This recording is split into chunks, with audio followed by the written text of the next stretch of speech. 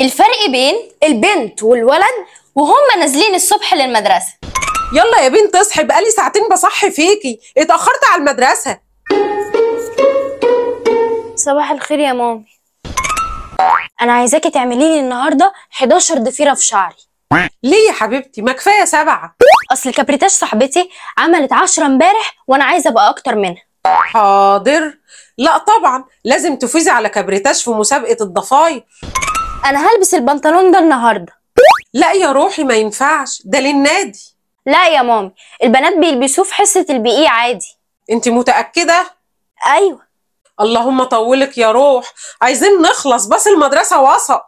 طب فين الساعة الحمراء بتاعتي؟ ومالها الزرقاء؟ زعلتك في إيه؟ زهقت منها يا مامي. طب يا حبيبتي لما ترجعي من المدرسة هبقى أدور لك عليها. الباص واقف تحت. طب أخبار ال lunch box إيه؟ حطيت لك السندوتشات والعصير والبسكوت وكل اللي انت عايزاه. يلا بقى عشان الباص مستني. حطيتي لي فاكهة؟